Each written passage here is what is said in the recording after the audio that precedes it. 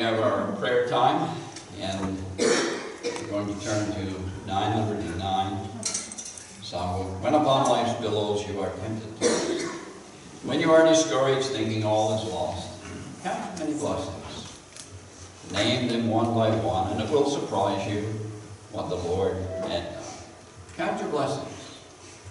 I think it's fair to say that most of us come across those times when we become discouraged, when we're thinking that all is lost.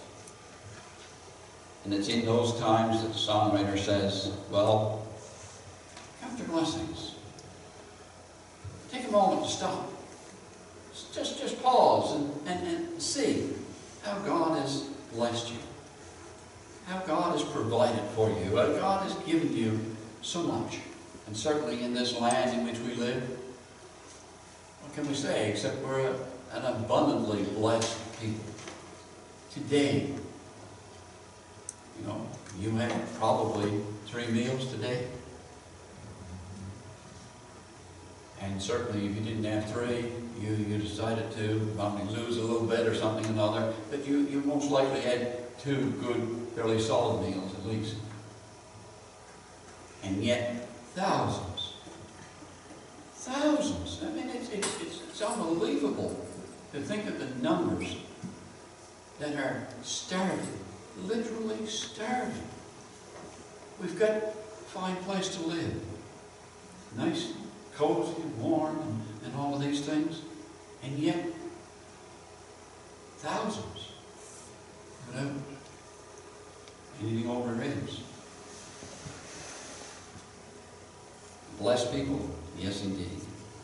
Well, I'm going to ask that we sing verses 1 and 2, and then I'm going to share in a prayer with you. And we do remember that there are those who are laid aside. I'm not going to uh, go into any, any list.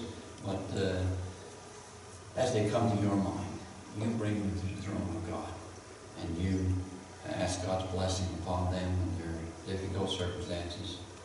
Uh, let's sing verses 1 and 2.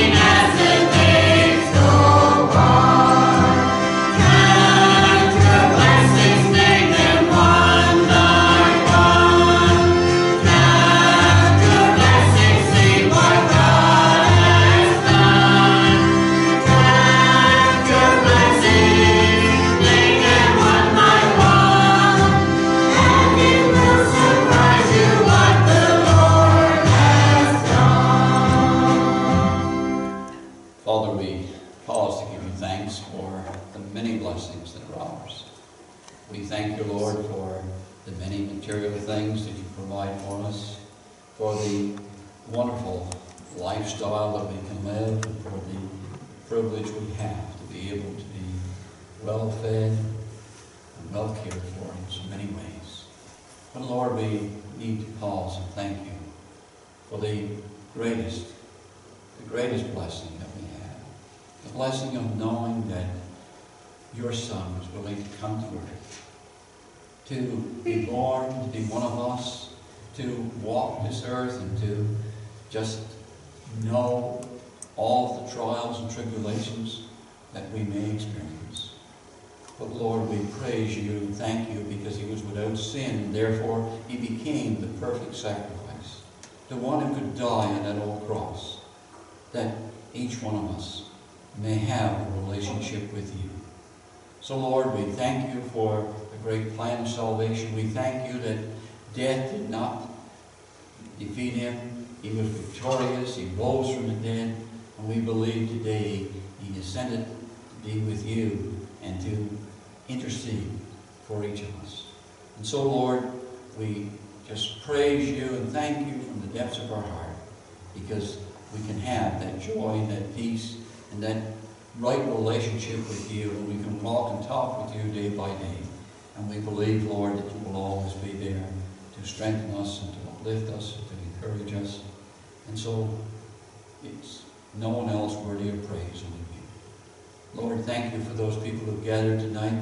We pray that each one that is gathered in will sense your presence, will know that you are a God worthy of all worship and all praise. So each one of us will be challenged to draw closer to you, to live the way you want us to live. Bless us now and guide this meeting, we pray in Jesus' name. Amen. Let's stand together and sing uh, the third verse of the chorus.